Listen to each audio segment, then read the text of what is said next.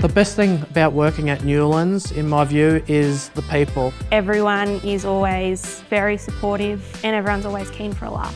You can get the job done and still have a bit of fun with it. Your ideas and your opinions get listened to and you're supported well to deliver a project. The best thing working at Newlands is the diversity of the role. The variety, you're not sort of locked in to a mundane task day in, day out. Everyone I've met has been very welcoming. You get kitted out with all the uniform you need, boots, safety gear.